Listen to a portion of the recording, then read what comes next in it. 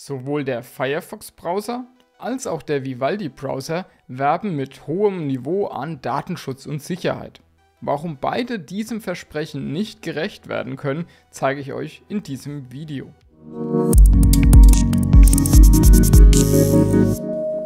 Es kommt wieder mal alles anders als gedacht.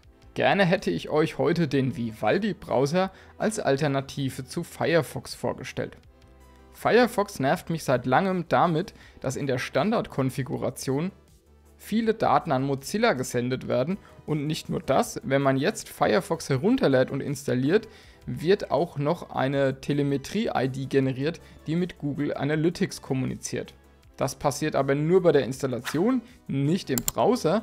Trotzdem sind das ja genau diese berühmten Metadaten, die ein umfassendes Bild eines Nutzers ermöglichen. Das ist übrigens, was ihr jetzt hier seht, ist die Standardkonfiguration von Firefox, wenn man ihn installiert. Also hier werden tatsächlich schon relativ viele Daten gesendet und ich muss ehrlich sagen, dass ich überhaupt keine Ahnung habe, was da genau im Detail gesendet wird und meine Zeit mir auch zu schade ist, mich damit genauer zu beschäftigen. Im Zweifel würde ich als informierter Benutzer diese Haken hier jetzt überall rausnehmen.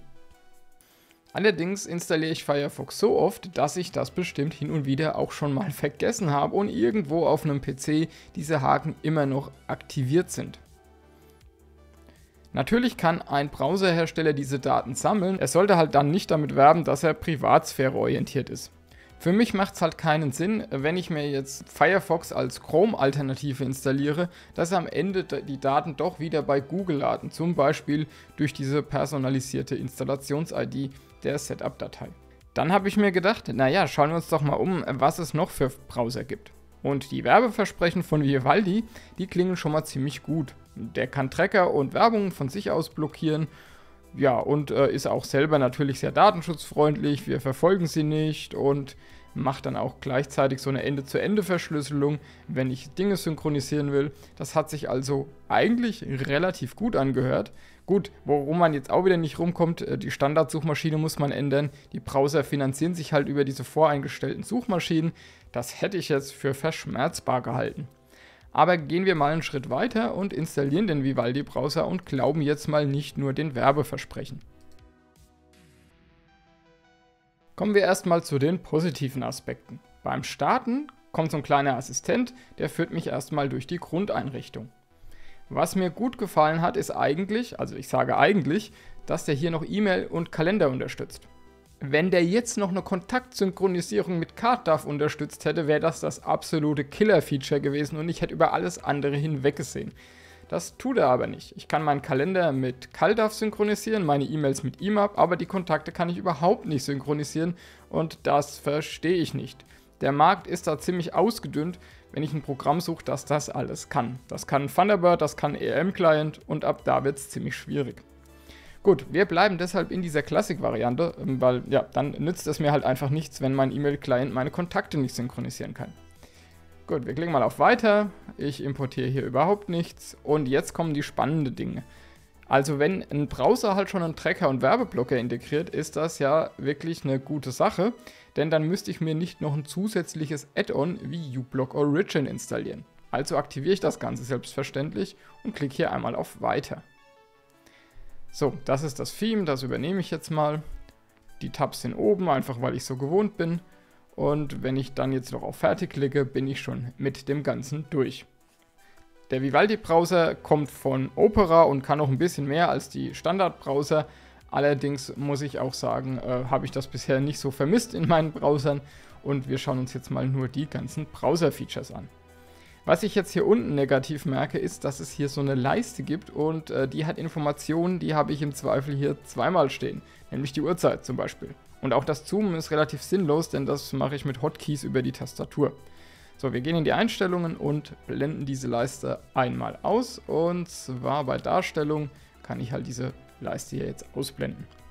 Gut, das war aber gar nicht so interessant. Wir wollten uns ja die Privatsphäre-Einstellungen anschauen und hier falle ich fast vom Stuhl. Hier sind erstmal eine ganze Menge Google-Dienste und Erweiterungen erlaubt. Äh, das ist natürlich eine kleine Katastrophe für einen Browser, der mit Datensparsamkeit und Datenschutz wirbt.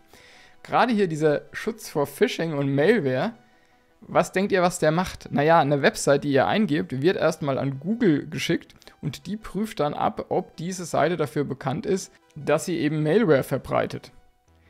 Das Ganze lässt sich auch mit einem Werbeblogger realisieren. Ähm, der hat einfach Listen und verhindert dann den Zugriff eben auf diese Website. Dazu muss ich nicht einen Dienst wie Google benutzen. Also einfach schrecklich sowas für einen Browser, der mit Privatsphäre wirbt. Ähm, den ganzen Krempel hier schmeiße ich natürlich auch raus. Der Chrome Web Store ist ja allerdings nur für die Erweiterung gedacht. Also da werden jetzt vermutlich nicht irgendwie Daten groß gesendet.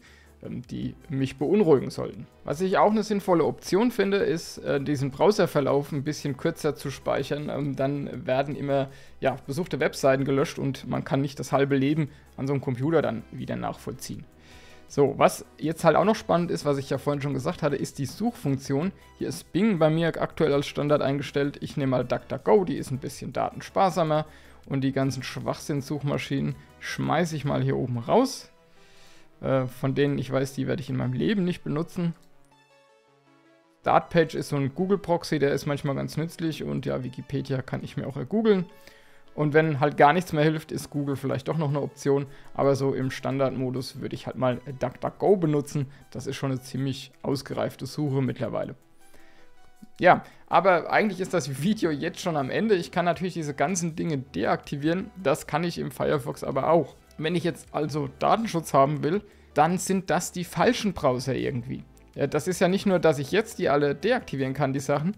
Jedes Update bringt vielleicht ein neues Häkchen mit und ich verliere da völlig die Kontrolle drüber.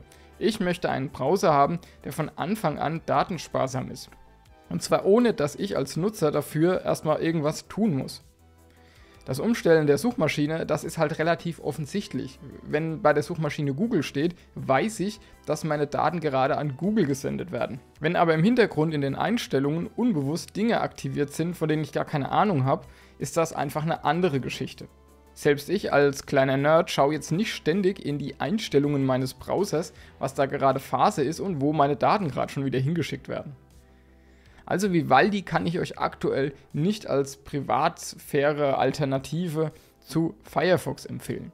Natürlich kann, könnt ihr euch das hinkonfigurieren, das will ich gar nicht in Abrede stellen, aber ich habe ja schon die Nachteile genannt, die eben solche Einstellungen haben. Ich habe da immer ein bisschen Gefühl, ich verliere da völlig die Kontrolle drüber. Empfehlt mir doch mal in den Kommentaren, welchen Browser ihr benutzt, ob ihr sagt, naja, ich stelle einfach die Einstellungen so ein, dass nichts gesendet wird, oder ihr habt einen Browser, der vielleicht genau das schon im Standard mitbringt und ihr eben nichts einstellen müsst. Würde mich mal interessieren, ja, was ihr benutzt.